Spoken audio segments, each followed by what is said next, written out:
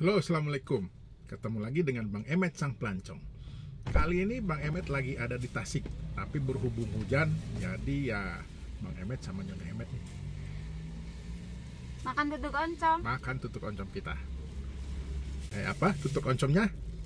Yuk kita lihat.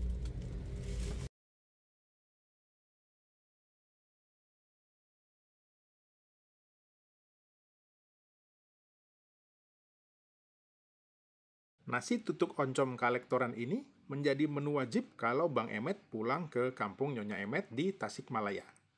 Kadang kita nitip ke saudara yang tinggal dekat sana untuk dibelikan, atau kalau lagi pengen makan di tempat, kita langsung sambangi saja warungnya yang tidak buka cabang di mana-mana ini.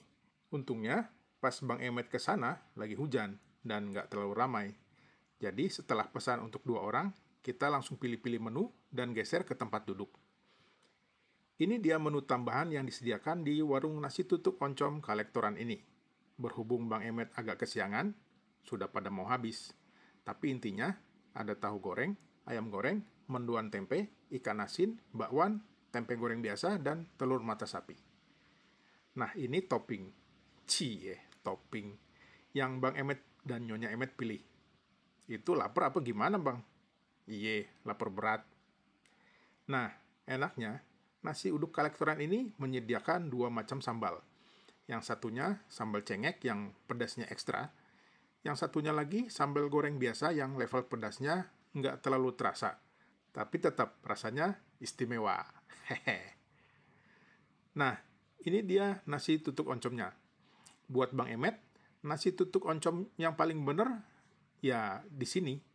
Campuran nasi oncomnya pas. Entah kenapa, rasa oncomnya juga agak beda dengan oncom yang biasa kita beli di pasar. Entah memang dia custom made atau hanya sensasinya saja ya. Tapi intinya oncomnya spesial.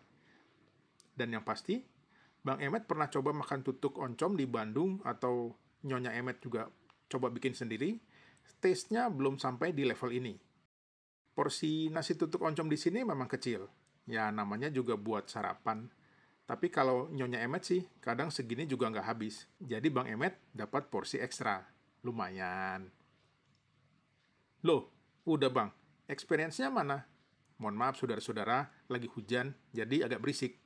Lain kali, kita mampir lagi ke sini pasti. Sampai ketemu di video berikutnya.